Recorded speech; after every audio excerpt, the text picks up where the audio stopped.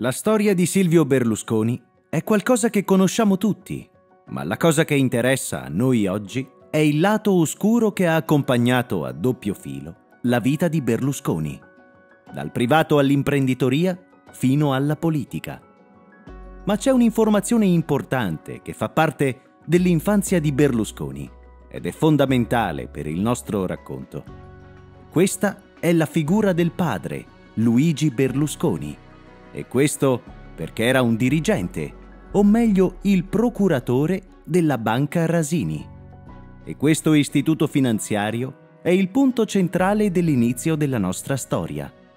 Questa banca, Michele Sindona la descrisse come lo sportello della mafia nella città di Milano e le sue dichiarazioni vennero confermate, perché tra i suoi correntisti c'erano Pippo Calò, Totò Rina e Bernardo Provenzano. Ma passiamo al 1954. Questo è un anno importante perché Berlusconi prende la maturità dai salesiani e si iscrive a giurisprudenza. Ed è proprio lì, tra le aule universitarie, che conosce un giovane studente palermitano, Marcello Dell'Utri, un personaggio che diventerà fondamentale per tutta la vita di Silvio Berlusconi. Il suo corso di studi finisce nel 61, con la laurea in legge, ed è proprio da quel momento che inizia la sua carriera nel settore edilizio. Parte tutto da una fideiussione da 100 milioni di lire e questa viene data in garanzia dal banchiere Carlo Rasini, che era il datore di lavoro del padre. E con quella fideiussione acquista il primo terreno in via Alciati.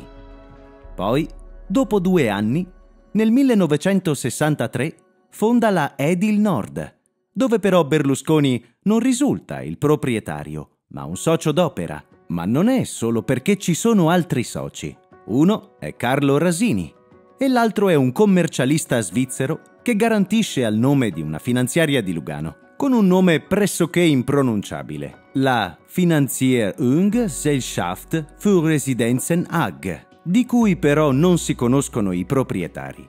Poi, con l'inizio del nuovo anno, inizia a costruire una nuova realtà, una città modello da 4.000 abitanti a Brugherio, e dopo circa 365 giorni il primo condominio è già pronto. Purtroppo però Berlusconi non riesce a vendere neanche uno di quegli appartamenti, ma nonostante questo, a un certo punto tutto l'edificio viene acquistato dal fondo di previdenza dei dirigenti commerciali. Dopo questa mossa passa qualche anno, è il 1968. È finita l'operazione Brugherio, ha venduto tutti gli appartamenti e la sua società, di cui non risulta proprietario, ma è proprietario, cioè la Edil Nord, compra per 3 miliardi di lire 700.000 metri quadri di terreni nel comune di Segrate. Ed è proprio lì che Berlusconi vuole creare una città satellite, Milano 2. Questa è un'operazione difficilissima, soprattutto perché i terreni non sono edificabili e a maggior ragione la motivazione è perché sopra quei terreni c'è tutto lo spazio aereo dell'aeroporto di Linate. Ora è chiaro che cambiare le rotte aeree e ottenere un'edificabilità sembra quasi impossibile. Ma Berlusconi a questo non ci sta e la prima mossa che fa è regalare a un prete affarista che conosce 46.000 metri quadri di quei terreni a Segrate. Quel prete affarista è Don Verzé ed è colui che costruirà su quei terreni l'ospedale San Raffaele di Milano. Dopo questo regalo, inizia la costruzione e neanche parte, Berlusconi decide di andare alla Direzione Generale dell'Aviazione Civile. Arrivato lì, prova a convincere degli alti dirigenti sull'eventuale spostamento delle rotte aeree e lui lo giustifica come qualcosa di assurdo. Far atterrare gli aerei proprio sopra un ospedale dove ci sono i malati la parte più oscura è che nessuno controlla effettivamente che la presenza dell'ospedale ci sia, anche perché in quel momento, più che un ospedale, era un enorme cantiere a cielo aperto. Ma nonostante questo, quelli della direzione generale, o meglio dei dirigenti, decidono di spostare quelle rotte da un centro disabitato, Milano 2, che era ancora in totale costruzione, a un centro decisamente abitato e popolato, Segrate, dove 200.000 persone già ci abitavano. Da quel momento, col cambio delle rotte aeree, i terreni di Berlusconi raddoppiano come ovvio che sia e il valore passa da 200.000 a 400.000 lire per metro quadro. Oltre al fatto che molti abitanti di Segrate, disperati dall'inquinamento acustico, iniziano a cercare casa proprio in quella che sarà Milano 2. E legato a questa vicenda, nel 1974 il pretore di Monza, che era Nicola Magrone, condannerà il direttore generale Paolo Moci, il direttore dell'aviazione civile, per disturbo di quiete pubblica, per danneggiamento dei comuni in cui le rotte sono state spostate e in più definirà il San Raffaele un ospedale dai connotati molto ambigui. Ma superato questo ostacolo, non è finita qui, perché ce n'è un altro molto grande che impedisce una regolare costruzione. Infatti, quei terreni sono ancora sprovvisti della licenza edilizia. Quindi, per il momento, i lavori sono abusivi. Il fatto curioso legato a questo è che durante il processo legato a delle tangenti, Berlusconi viene interrogato in quel frangente dichiara ai giudici, sotto forma di battuta, che all'epoca bisognava andare negli uffici regionali con l'assegno in bocca. Poi, davanti allo stupore dei giudici, ritratta in qualche modo dicendo che era semplicemente una battuta, uno scherzo. Ma comunque nel mentre, Berlusconi continua sia a costruire che a fondare nuove società edilizie. Per esempio, abbiamo citato la Edil Nord, che viene messa in liquidazione e sostituita dalla Edil Nord Centri Residenziali di Lidia Borsari. Ora, chi è questa Lidia Borsari? La Borsari è una cugina di Berlusconi, che diventa socia di questa nuova società costituita. Condivide la proprietà con un altro socio, che è una misteriosa finanziaria svizzera di Lugano. Il nome di questa finanziaria è ancora una volta impronunciabile almeno per noi in Italia, e si chiama Aktiengesellschaft für Immobilienlangen in Residence Zentrum AG. Anche di questa finanziaria il capitale iniziale, cioè quello che viene versato, risulta di ignota provenienza. E poi c'è un'altra società, la Ital Cantieri SRL, che è legata a due strane finanziarie di Lugano la Configen, legata al finanziere Tito Tettamanti, e la Eti AG Holding, legata al finanziere Ercole Donnelli. Ma mettendo un attimo da parte il capitolo dell'edilizia, arriviamo al 1973, un anno importantissimo per Silvio Berlusconi. In quest'anno avviene l'acquisto di Villa San Martino, la storica villa nel comune di Arcore. Per capire questa vicenda dobbiamo partire da un personaggio, Umberto Previti, un avvocato che fa da prestanome in una società di Berlusconi chiamata Idra. Oltre a fare l'avvocato, Previti è anche il protettore di Anna Maria Casati Stampa, una ragazza minorenne che fa parte di un'importante famiglia nobiliare di Milano. La famiglia Casati Stampa è proprietaria di numerose residenze di grande pregio, tra cui Villa San Martino ad Arcore. Ma in tutto questo, che c'entrano i giochi sessuali della famiglia Casati Stampa con questa storia? Per capirlo, dobbiamo inserire un terzo personaggio, Massimo Minorenti, uno studente di scienze politiche che era stato pagato dal marchese Camillo Casati Stampa per avere rapporti sessuali con la moglie. Il marchese amava vedere la moglie che faceva sesso con altri uomini. Questo dettaglio privato apparentemente poco importante, diventa significativo perché la residenza di Villa San Martino è il centro di tutta questa vicenda. Infatti, la famiglia Casati Stampa decide di vendere la proprietà a un amico molto facoltoso, che non è altro che Silvio Berlusconi. Berlusconi acquista Villa San Martino per soli 500 milioni di lire dell'epoca una somma estremamente bassa considerando il valore inestimabile della villa. L'acquisto avviene tramite azioni di alcune società immobiliari di Berlusconi, che però non sono quotate in borsa.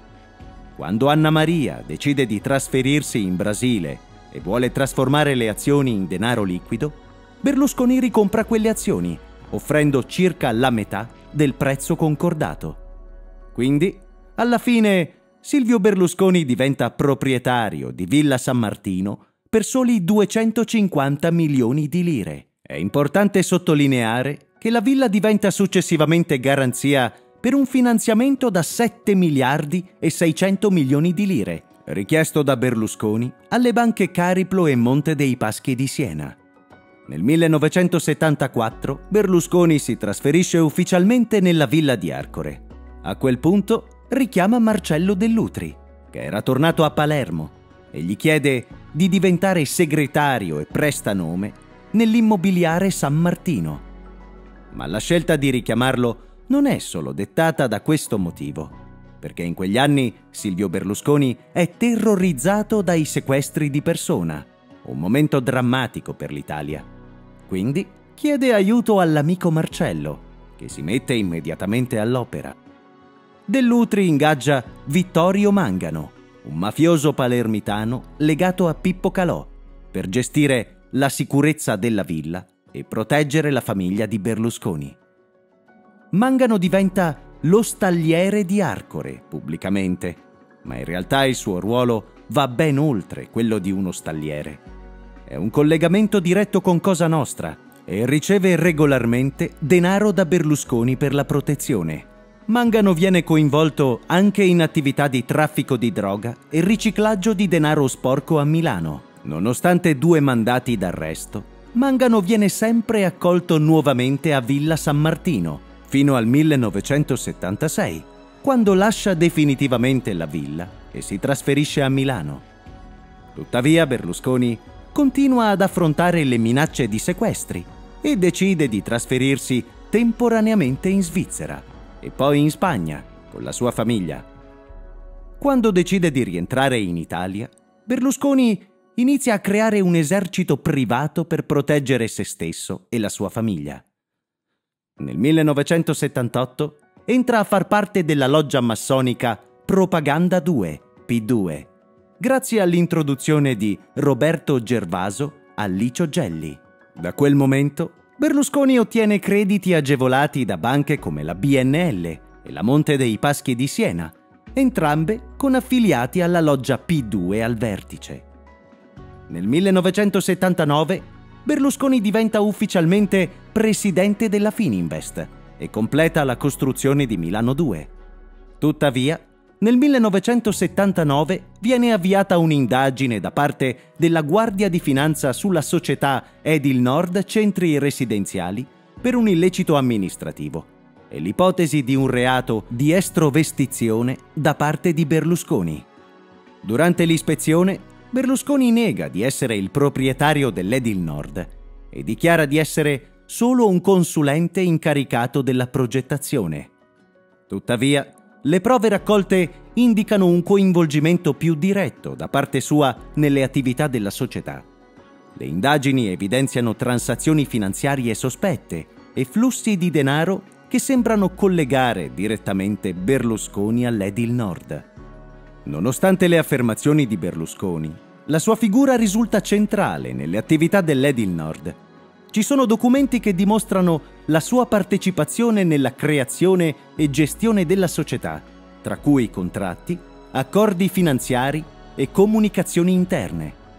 Inoltre, testimonianze di ex dipendenti e collaboratori rafforzano l'idea che Berlusconi fosse coinvolto in modo diretto nelle decisioni chiave e nel controllo operativo dell'Edil Nord.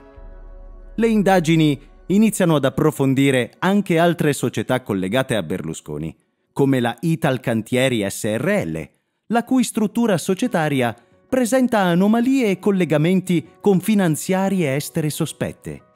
L'obiettivo delle indagini è di stabilire se ci siano violazioni delle leggi finanziarie e se Berlusconi abbia utilizzato queste società per scopi illeciti, come evasione fiscale o riciclaggio di denaro. La vicenda si svolge in un clima di grande tensione politica, perché Berlusconi è già una figura di spicco nel panorama italiano e ha un forte impatto nell'ambito imprenditoriale e mediatico. La sua affermazione di essere solo un consulente e non il proprietario dell'Edil Nord potrebbe essere un tentativo di minimizzare le sue responsabilità legali e di preservare la sua immagine pubblica. Le indagini sull'Edil Nord e le altre società collegate a Berlusconi si protraggono nel tempo, coinvolgendo diverse istituzioni giudiziarie e organi investigativi.